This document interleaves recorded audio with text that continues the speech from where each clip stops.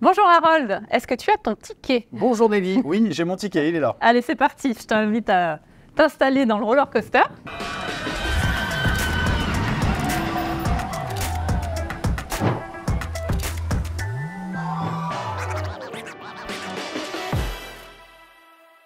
Alors, est-ce que tu es prêt? Ah ben moi je suis prêt, je suis en pleine forme, euh, on, on démarre. Est-ce que tu es déjà monté dans un roller coaster? Euh, oui, mais ça fait longtemps que je j'ai pas été. T'aimes ça, les sensations euh, Ouais, j'aime bien, ouais. enfin j'aimais bien. Maintenant, euh, T'es tranquille moins. Ouais, je suis truc plus cool maintenant. Bon, on va démarrer. Est-ce que tu es prêt à te mettre dans le wagon? Ah ça y est, moi je suis dans le wagon là, je suis déjà assis, il n'y a pas de ceinture, mais je suis, je suis prêt. Alors, j'ai reçu ton dessin, Oui, une œuvre d'art. voilà, on peut appeler ça comme ça, ouais. Donc, on va découvrir ton parcours. Donc, ça y est, on est dans le wagon de lancement. Est-ce que tu peux te présenter euh, à nos auditeurs? Eh bien, avec plaisir. Donc, mon nom est Harold Parizeau. Je suis président du Chinese Business Club. C'est un réseau euh, d'affaires et de lobbying que j'ai créé en 2012. Et l'idée, c'est de réunir uniquement des entreprises une quinzaine de fois par an à Paris sous forme de euh, mise en relation, cocktail et déjeuner d'affaires tous les mois. Ok, on se met sur la lampe de lancement. On regarde 2012. Donc, quelle est l'étape qui- que tu as franchie pour devenir entrepreneur? Parce que j'ai cru comprendre que tu n'as pas été entrepreneur tout le temps. C'est vrai. Alors avant, effectivement, j'étais salarié. Et puis un jour, je me suis dit, j'ai un petit carnet d'adresses. L'idée, ce serait éventuellement de, de, de monétiser ces contacts. Mais c'est pas évident. Euh, Encore faut-il avoir une idée, etc. Et donc, j'ai fait une rupture conventionnelle avec mon ancien employeur. Tu étais dans quel secteur? J'étais euh, dans les télécoms et ensuite dans les assurances. Bon, euh, voilà, c'est, euh, c'était pas la folie, mais bon, euh, j'étais pas malheureux non plus. Et puis, euh, j'ai fait une rupture conventionnelle en 2010 auprès de mon ancien employeur. Je me suis mis à mon compte en 2010, donc. Et puis, j'ai fait un peu d'intermédiation pendant deux ans. Et en 2012, j'ai rencontré pas mal de Chinois qui, à chaque fois, veulent rencontrer des patrons français, des, marques françaises à vendre, des journalistes français, euh, etc. Et donc, c'est vraiment eux qui m'ont donné l'idée de créer ce réseau, ce club d'affaires. Et c'est comme ça qu'est né le Chinese Business Club en 2012. Donc, c'est pour ça que c'est un peu le début des, des rails. Donc là, Et- tu, démarres euh, directement, c'est-à-dire que tu quittes ton entreprise, Ouais. tu savais déjà que tu allais fonder ce club. Enfin, euh, peu de temps après, ouais. Ok, c'était euh, limpide, quoi. Tu- Bah, limpide. euh, euh, bah, après, comme tu peux le constater euh, dans, dans- dans le dessin, euh, pendant trois ans, c'était quand même extrêmement calme. Donc, euh, en gros, j'ai galéré pendant trois ans.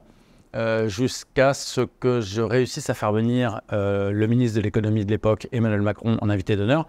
Et là, franchement, ça a été un super coup de pub pour le Chinese Business Club parce que beaucoup de médias, de presse et de journalistes sont venus en se disant Mais c'est quoi ce, ce club euh, inconnu au bataillon où le ministre de l'économie intervient et prend la parole Et donc, ça, c'était le 15 juin 2015. Et, et depuis 2015, le club cartonne. Donc, ça, c'est vraiment cool.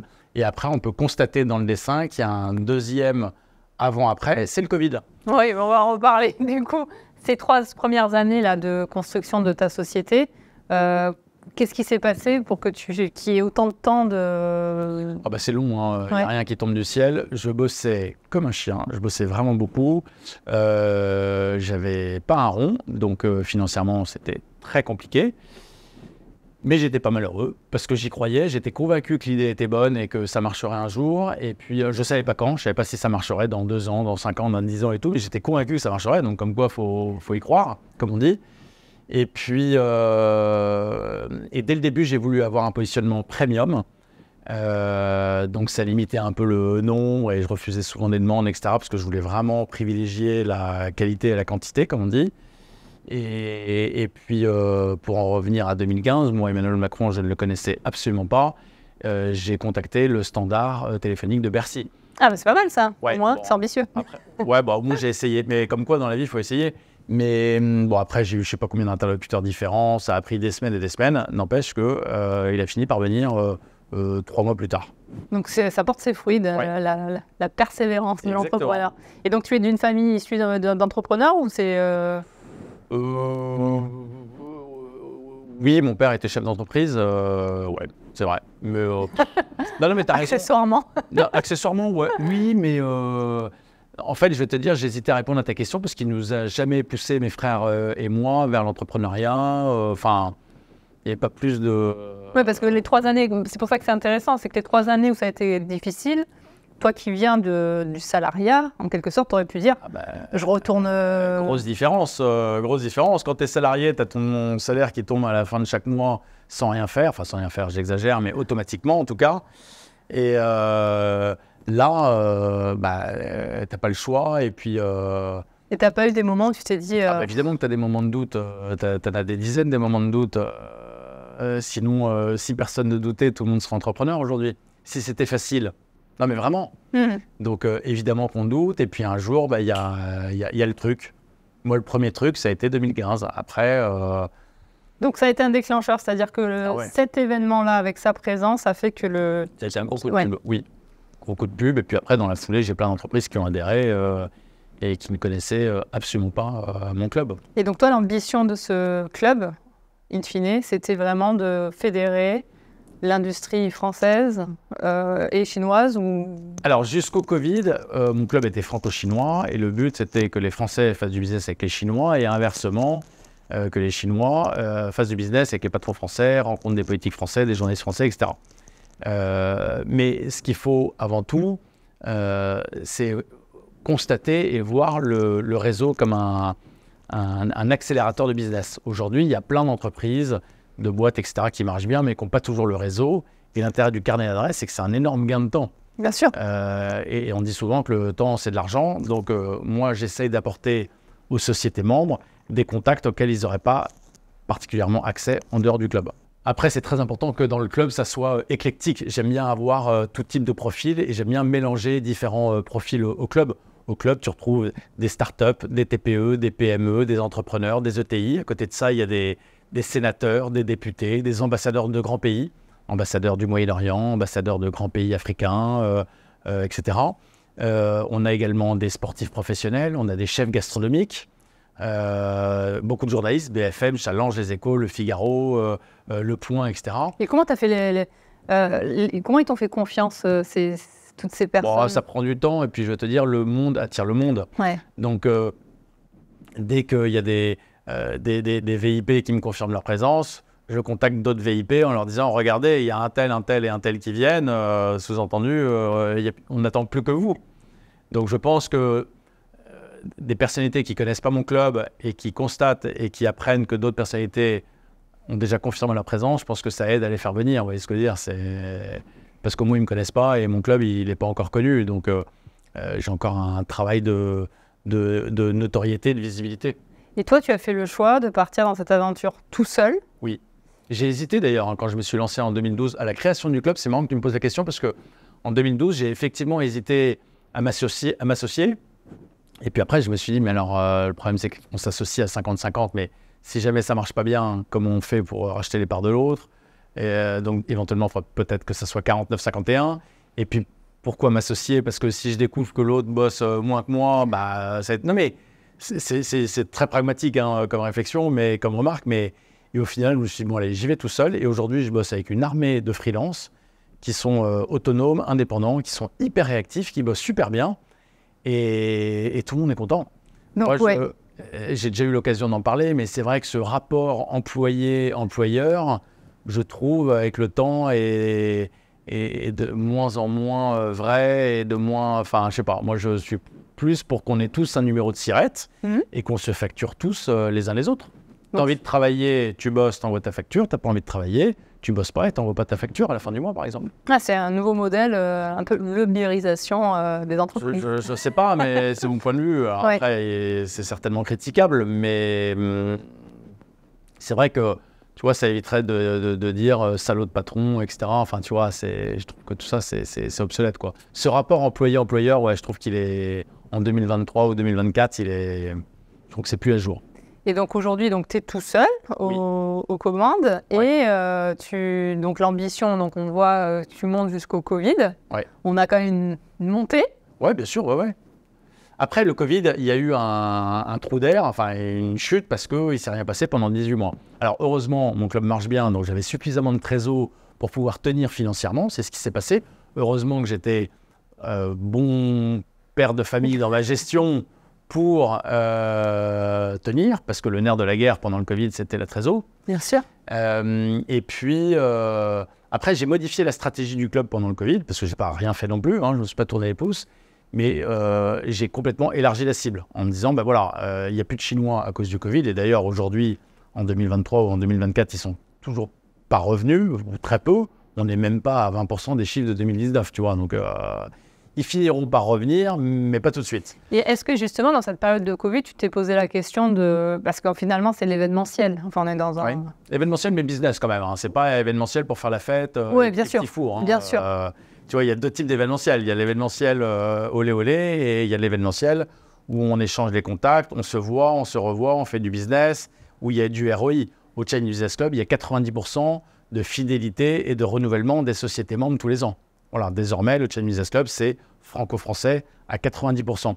Et là où je voulais en venir sur le, pendant la période Covid, j'ai élargi la cible en me disant, ben voilà, aujourd'hui, je vais cibler tout ce qui est start-up, TPE, PME, ETI, entrepreneurs, etc. Il y a plein de petites boîtes qui marchent très bien, mais qui n'ont pas toujours le réseau qui suit. Et donc, moi, le but, c'est leur dire, ben, adhérez au Chain Business Club et vous aurez accès à ces business angels, à ces investisseurs, à ces milliardaires français, à ses patrons, chefs d'entreprise, dirigeants, euh, sénateurs, députés, ambassadeurs, euh, sportifs professionnels, etc. C'est très éclectique. Tu vois, par exemple, au, dernier déjeuner, il y avait le patron du GIGN, le patron du RAID, le patron de la BRI, euh, euh Seguelab, Bouygues, Douste-Blazy, Michel Alliot-Marie. non, mais tu vois, c'est Dassault, etc.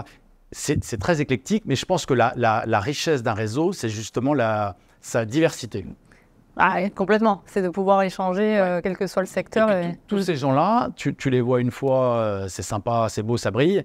Mais quand tu es membre du club et que tu les vois régulièrement, moi, au, club, ils font tous du business entre eux. Donc, il y a des, opportunités, des synergies qui se créent entre les membres. Et parce que le but, c'est qu'ils fassent du ROI, évidemment. Hein, les gens viennent pour faire du business. Donc, l'idée, c'est de joindre l'utile à l'agréable en passant des moments sympas et, derrière en, transformant les contacts. Et donc toi, la, période Covid qui, euh, qui, a quand même été dure, on le voit sur le dessin quand même, comment tu l'as accueilli en tant qu'entrepreneur euh, Parce qu'on ne sait pas, enfin on savait pas ce qui allait se passer. Personne ne savait d'ailleurs.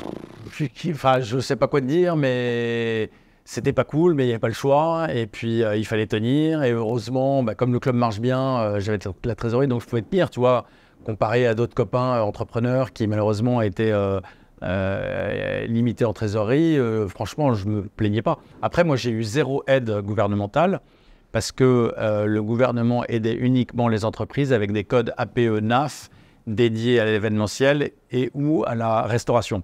or, le Chain Business Club, je crois que le code APE, c'est code, code conseil, je sais pas quoi. Donc, j'étais malheureusement pas éligible, à mon grand regret. Mais bon, écoute, voilà. Et pour pas que les sociétés membres soient impactées, j'ai automatiquement prolongé toutes les adhésions, pour éviter qu'il y en ait un qui me demande de le rembourser, j'ai prolongé toutes les adhésions de 18 mois. D'accord. comme ça, euh, tout le monde était content, et puis j'ai coupé l'arbre sous le pied en, annonçant spontanément que toutes les adhésions seraient prolongées. Donc euh, tout le monde était très content, et moi ça m'arrangeait.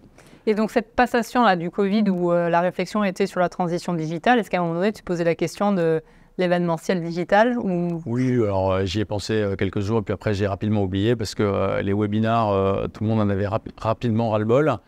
Et, puis si tu veux, moi, les gens qui viennent au club, ils viennent chercher des contacts. Ouais. Donc faire du networking ou du lobbying ou du réseautage avec un webinar, je pense que c'est compliqué. Mais non, réellement, voilà. Moi, l'invité d'honneur au Business Club, c'est le prétexte pour réunir les invités, les VIP, les membres, etc. On a chaque fois des, invités d'honneur très prestigieux, soit un politique, soit un grand patron du CAC 40, soit de plus en plus des entrepreneurs hyper successful à la tête de licorne, comme on a eu l'occasion de recevoir euh, Blablacar, Conto, Ledger, Back Market, etc.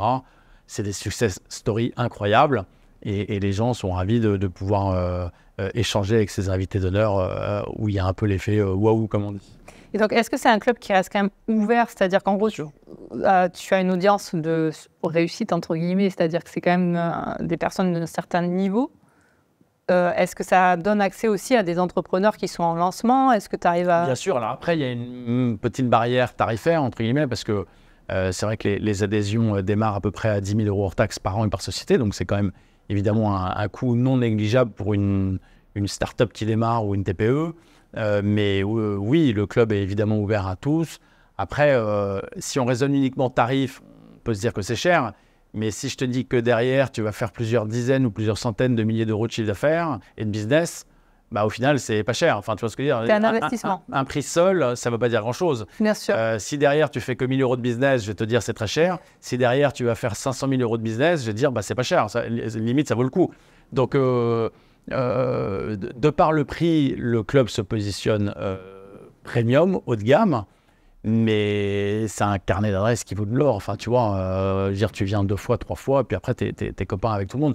Des clubs, il y en a des milliers partout en France moi, depuis 2012, j'ai toujours voulu avoir le positionnement le plus premium possible pour sortir du lot, pour être visible et pour pas être noyé dans la masse. Ouais. Des clubs, il y en a plein. Oui, bien sûr, non, c'est sûr. Et donc là, la remontée après le Covid, elle se fait automatiquement à la sortie de, des annonces Oui, mais ça, justement, c'est grâce à cette nouvelle euh, cible de start-up, entrepreneurs, TPE, PME, etc. Et donc, euh, depuis, euh, ouais, depuis 2020, je, voilà, la cible, c'est vraiment les petites boîtes. Et je me dis que le club a beaucoup plus de valeur ajoutée pour une petite entreprise que pour un grand groupe qui continuera d'exister avec ou sans Channel Business Club. Ça ne lui changera pas grand-chose à son quotidien. Donc, je pense que mon club a plus de valeur ajoutée euh, pour une petite entreprise. Et quelles sont les, étapes dans la montée là, que l'on voit euh, Parce que là, c'est une vraie montée. On dirait qu'il n'y a pas eu aucun subrosso. C'est vraiment ligne droite. C'est vrai. non, mais franchement, ouais. Bah euh, non, mais je pense que c'est représentatif de la réalité. C'est que là, euh, euh, voilà, de, le club n'a jamais aussi bien marché aujourd'hui en 2024 que le club marche mieux, encore mieux aujourd'hui qu'avant le Covid. Enfin, comme on peut le constater dans ce magnifique dessin. non, mais voilà, tant mieux pourvu que ça dure. L'idée, c'est toujours de monter en, gamme, de recevoir toujours des invités d'honneur toujours plus waouh. Et ça, tu peux le tenir dans le temps de. J'essaye. Bah non, mais bon, euh, oui, j'essaye. Parce que du coup, tu t'adresses juste au top level, euh, Anthony Bourbon, etc., qu'on a vu euh, dernièrement. Le PDG de L'Oréal, PDG de Total, PDG d'Accor, PDG du Club Med, Emmanuel Macron, Nicolas Sarkozy, qui est venu plusieurs fois, le prince Albert de Monaco. Ah oui. il y a très longtemps, on a même reçu Jean d'Ormesson. Euh, et puis euh, Anthony Bourbon euh, dans un autre style récemment. on reçoit là au mois de février Tony Parker à l'occasion des JO de Paris 2024. Et puis qui d'autre à venir bah, Enfin, il y en a plein. Ouais, c'est pas, les, pas les idées qui manquent. Hein. Des idées, j'en ai plein. Après, encore faut-il qu'ils acceptent. Donc toi, le, cadre, c'est de faire des cocktails dînatoires ou des... Alors c'est soit des cocktails le soir unique, en petit comité pour les membres, soit des grands déjeuners officiels entre 11h30 et 15h. C'est-à-dire qu'en gros, tu as à peu près une heure et demie de networking debout avant chaque déjeuner, de 11h30 à 13h, où les gens sont extrêmement mobiles, et échangent des cartes de visite, etc. Déjeuner assis de 13 à 14, et ensuite à 14h, café une nouvelle fois networking pour que tout le monde continue d'échanger, de se rencontrer, etc. Le but, c'est de repartir évidemment avec un maximum de contacts et puis après, il faut transformer. Euh, et, quel est le, quotidien d'Harold, du coup? Et dans mon quotidien. Qui est tout seul, du coup. Pas d'employés, pas de salariés, pas de stagiaires, euh, pas d'assistants, euh, pas d'apprentis, etc. Mais après, je te dis, je ne suis pas tout seul, parce que je travaille avec des, des freelances qui sont réactifs, qui bossent très bien. Et, et voilà, mais mon, mon, quotidien, pour répondre à ta question, je travaille de chez moi. Euh, et je travaille sur mon ordi, et puis j'ai des déjeuners d'affaires tous les jours. Après, j'enchaîne tout le temps sur un ou deux rendez-vous, puis après, je retourne travailler sur mon ordi. Et de temps en temps, il y a un ou deux cocktails, et puis voilà. Mais je, euh, je travaille tout seul, mais je suis pas tout seul. Enfin, euh, Ta passion, c'est les relations publiques finalement. Mais écoute, moi j'ai la chance d'avoir fait de ma passion mon métier. Hein. J'adore rencontrer des gens, j'aime que les gens me racontent leur vie et ce qu'ils aiment et ce qu'ils font. Et puis surtout, je passe mon temps à faire des mises en relation et, et tant mieux, parce que les gens sont contents, ils font du business entre eux. Et bah, c'est vraiment le principe du. C'est l'objectif du Chain Business Club. 90% hein. de fidélité et de renouvellement des membres, des sociétés membres, tous les ans. Ah, c'est une belle réussite. C'est pas mal, hein ouais. C'est un joli roller coaster, en tout cas. Voilà. Bah, L'écran est pas assez haut, mais il faudrait que ça continue de monter encore un peu. Et est-ce que tu as d'autres projets ou c'est vraiment tu te concentres que sur ce projet-là? Je me concentre que là-dessus. Par contre, à titre perso, de plus en plus, euh, je prends des petits tickets en précide ou en site dans des startups ou dans des entrepreneurs euh, que, que, je rencontre et dans, les, dans lesquels je, je, crois. Ouais. Et donc, euh, de plus en plus, ouais, je, suis petit euh, business angel. Ça y est, tu te lances dans le. Ouais, mais c'est intéressant. Et puis vraiment, en plus, en faisant ça, en accompagnant, en, en accompagnant des, jeunes entrepreneurs, je me sens utile et je pense avoir une vraie valeur ajoutée. Euh, je pense avoir un bon réseau et un bon carnet d'adresses. Donc, c- je pense que c'est un gros accélérateur de business. Et en plus de ça, ceux que j'accompagne, je les fais venir au club. Donc, pour eux, c'est euh, pour les entrepreneurs euh, que j'accompagne, c'est tout bénéf pour eux. Et ça, c'est voilà, la, la prochaine étape, c'est la transmission en quelque sorte. euh, Bon, ça, je le fais à titre perso, je le fais de plus en plus. Et euh, voilà, j'ai des entrepreneurs qui me contactent euh, principalement via euh, LinkedIn. Ouais. Et puis, euh, et puis c'est sympa, c'est intéressant. Bon, après, il y a beaucoup de projets, donc euh, je euh, voilà, je je peux pas aller partout, mais je suis je suis pas encore Xavier Niel. Mais, mais je trouve ça sympa, je trouve ça intéressant, et puis je trouve ça vachement enrichissant. Et puis je te dis, franchement, on se sent utile en, en faisant ça, quoi. Donc c'est bien. Ça me Et- plaît. Et toi, du coup, si tu prenais du recul sur toute ton expérience en tant qu'entrepreneur, que- sont, enfin, que- qu'est-ce que tu en tires en fait à présent là, si tu euh, regardes ton roller coaster de, dos et tu te dis, euh, Bah, je me dis que euh, une chose est sûre, c'est qu'il ne faut pas négliger les contacts et le réseau, etc. Parce que il, il faut attaquer le carnet d'adresse dès, dès le. Quoi. Parce que tu vois, par exemple, si tu es amené à faire une école de commerce, tu vas te retrouver avec une promo avec euh, 200 camarades. Bah, mine de rien, euh, quelques années plus tard, tes 200 camarades de promo vont se retrouver dans 200 entreprises différentes. Donc, mine de rien, ça te fait indirectement un pied d'entrée dans ces 200 marques, 200 sociétés, 200 groupes, 200 startups, tu appelles ça comme tu veux, mais enfin, tu vois ce que je veux dire? Donc, je pense qu'il faut s'intéresser au networking le plus tôt et le plus jeune possible. Voilà, c'est mon conseil. ouais, c'est quelque chose qu'on n'apprend pas forcément. Je suis d'accord, et c'est bien dommage. Parce que pourtant, il y a beaucoup d'écoles de les gens commerce. ne ouais. s'y intéressent qu'à partir du moment où ils cherchent du boulot. Oui. Et ça, c'est pas bon. Mm. C'est-à-dire que c'est toujours mieux de contacter quelqu'un quand on n'a rien à lui demander plutôt que. Non, mais c'est vrai. C'est un peu comme les levées de fonds. On cherche l'argent toujours quand on n'en a plus, alors qu'il vaudrait mieux anticiper. Voilà. non, non, je suis d'accord. Et euh, sur la, la volonté euh, après 2024, c'est de bah, rester dans ce flow-là ou tu as des projets Le euh, but, c'est de tirer le club vers le haut, de continuer à monter en, en gamme. Euh, et puis. euh, Bah voilà. Je- C'est déjà pas mal. C'est de continuer la- l'ascension. Ouais, ouais, de continuer à. Moi, ce que je veux, c'est que les membres ne se lassent pas et qu'ils aient, à chaque fois qu'ils viennent au club, toujours l'effet waouh. C'est hyper important. Et comment tu le crées cet effet waouh? Avec les moyens du bord. Ouais. Euh, ça peut être un effet waouh avec telle ou telle personnalité présente. Ça peut être euh, l'effet waouh avec euh, une armée de robots qui servent les boissons pendant le déjeuner. Enfin, il faut le, il faut le truc. C'est le prestige. Tu- prestige ou décalé ou waouh quoi. Waouh, c'est pas uniquement prestige. hein. D'accord, parce que j'ai vu les, les derniers lieux, c'est quand même des lieux Ah, bah, prestigieux. c'est des beaux endroits, ouais, Oui. bien sûr. Mais en fait, à ch- chaque déjeuner, on les organise dans des, des, des beaux hôtels euh, parisiens, donc euh, Intercontinental Opéra, euh, Westin Vendôme, etc. C'est, des, ou, ou ailleurs, peu importe. Mais l'idée, c'est d'avoir des beaux lieux et puis euh, suffisamment grands parce qu'on est quand même, euh, il y a quand même pas mal de monde à chaque déjeuner. Tu vois, on est au, au dernier déjeuner, on était plus de 200 couverts quand même, donc ça fait du monde. Donc là, aujourd'hui, tu es en, en rentabilité totale. Toi, tu n'as pas besoin d'investisseurs. Tu as Bah, croissance. tu sais, j'ai pas de frais, hein. j'ai pas de, pas de bureau, pas de salariés, euh, pas de stock, euh, pas de matériel, pas de machine. euh.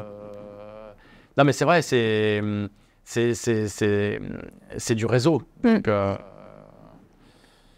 tant mieux.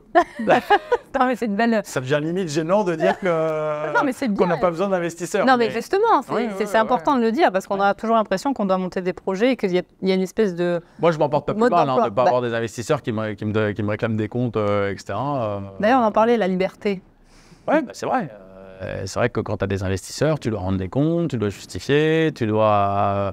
Euh, toutes tes décisions doivent être euh, approuvées, etc. Bon, bah là, au moins, j'ai pas ce problème-là. Là, t'es libre. non, mais c'est un vrai luxe. La liberté dans le professionnel, c'est un vrai luxe, bien entendu. Après, je bosse beaucoup. hein. Moi, je travaille 6 jours sur 7. Et les trois premières années, je travaillais 7 jours sur 7. Et quel est l'événement qui t'a le plus marqué? Bah, euh, le fait d'avoir reçu Emmanuel Macron, le fait d'avoir reçu Nicolas Sarkozy plusieurs fois, le fait d'avoir reçu euh, Albert de Monaco, euh, Jean d'Ormesson. Enfin, tu vois, ça reste quand même des. Après, on aime ou on n'aime pas, le sujet n'est pas là, mais ça reste quand même des, des grandes personnalités. Donc, c'est évidemment que c'est un honneur pour moi de les recevoir dans mon club et, et de les présenter aux sociétés. T'as Donc, quand même cool. une pression quand tu, tu l'as plus, ça y est, c'est fini de rencontrer ce genre de personnalité. euh, parce que c'est quand même euh, Alors, ça- quelque chose. Alors, euh, Pression, non, mais ça me fait plaisir. Mais franchement, je j'ai aucune pression. Je suis hyper à l'aise et, et ça me plaît. Et franchement, c'est mon truc. Mais bon, après, je, je peux comprendre qu'il y, y en a qui se sentent gênés ou pas à l'aise et tout. Mais moi, vraiment, c'est un truc, au contraire, je. Tu prends plaisir. Ouais, vraiment, c'est vraiment le mot. Je prends plaisir. Mais ça, c'est beau. Et ça fait plaisir. Voilà.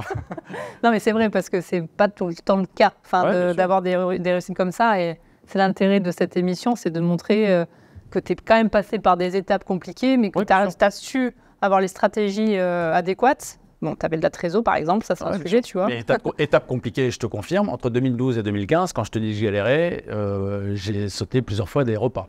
Ouais. Voilà, pour pouvoir m'en sortir financièrement. J'étais pas malheureux parce que j'y croyais. J'étais convaincu que mon idée était bonne et que ça marcherait un jour. Euh, je ne savais pas dans combien de temps ça marcherait. Ça a fini par marcher. Enfin, maintenant, ça marche bien. Mais une nouvelle fois, la chance, elle se provoque. Euh, Emmanuel Macron, si j'avais pas harcelé le standard de Bercy, il serait jamais venu. Donc, enfin, harcelé, peut-être pas exagéré, mais non, mais si j'avais pas tenté ma chance, tu vois ce que je veux dire. Ouais. Donc, euh, euh, de même que les autres que, que j'ai reçus en invité d'honneur, si j'avais pas essayé et tout, à chaque fois les gens me, disent, euh, me disaient, Ah, mais tu l'auras jamais en invité d'honneur. J'ai dit, bah au moins j'essaye. Et puis si j'ai un non ou pas de réponse, j'aurais pas de regret parce que j'aurais essayé. Ça, voilà, c'est- c'est un peu mon, c'est un peu l'idée. Il y a aussi la phrase de même si c'est non, c'est c'est pas encore non, quoi. Ouais, bon, après, si c'est non, je veux pas les saouler non plus. Mais, Non, mais franchement, ouais, c'est une super aventure. Ça m'amuse de regarder ce dessin. Bon, il est pourri, mon dessin, mais, euh, mais euh, en tout cas, ça représente à peu près euh, les, les, les dates euh, sur les, les, les 12 dernières années, ouais, bien sûr. Et tu es quelqu'un de plutôt. euh, C'est-à-dire les émotions que tu vis en tant qu'entrepreneur, tu les canalises? Parce qu'il y a beaucoup Moi, je suis pas stressé, moi. Ouais. Je suis pas du tout stressé. je suis plutôt zen, d'humeur constante, comme on dit. Euh, et puis une fois de plus, j'ai la chance d'être passionné par euh, ce que je fais. Et Quand tu aimes quelque chose, tu, tu comptes pas les heures, tu le fais bien. Tu, enfin, tu vois, c'est comme pour tout. Tu aimes un truc, tu le fais bien. Voilà, bah, T'as pas l'impression de travailler en fait? franchement, ouais. J'ai pas l'impression de travailler. Alors, je travaille beaucoup, mais j'ai pas l'impression de travailler. Et puis surtout, j'aime ce que je fais. Donc, c'est, c'est, ça vaut tout l'or du monde. Ouais. Dire, moi, je, je préfère être le lundi matin plutôt que le vendredi soir. C'est beau. Bon, après, je suis content de me barrer en week-end, hein, mais bon. euh, non, mais voilà. Justement, le, que- lundi matin, je suis content, euh, ça y est, c'est reparti et tout. Et en plus, je dis ça, euh, je- ça m'arrive très souvent de travailler tard sur mon ordi le dimanche soir, pendant que tout le monde est devant sa télé. Moi, le dimanche soir, je bosse sur mon ordi et, et je me plains pas, je suis très content et j'adore. Mais en étant tout seul, tu arrives à t'allouer des temps de pause quand même? Ah, bah oui, quand même, faut pas exagérer. je je suis pas une machine. Est-ce que tu as un conseil à partager aux personnes qui veulent entreprendre? Euh, oui, de, de, de s'intéresser le plus tôt possible au carnet d'adresse, au networking, au réseau. Franchement, hein, euh, je sais qu'il y en a qui n'aiment pas et ça les embête, et, etc. Mais c'est hyper important pour le business en tout cas.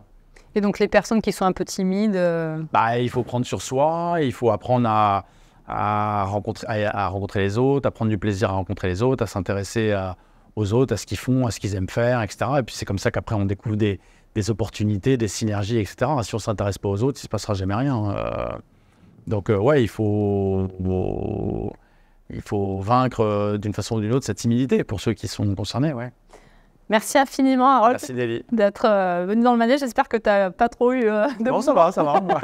Je t'invite à signer ton ticket Très bien. pour dire que tu es bien passé Très bien. dans le manège. Ça, on a droit à un deuxième tour? Oui, tu peux. Pas tout de suite. hein. Et merci à tous les auditeurs d'avoir suivi cette émission. Je vous invite à liker, partager, commenter et on se retrouve dans la prochaine émission. Merci. Merci.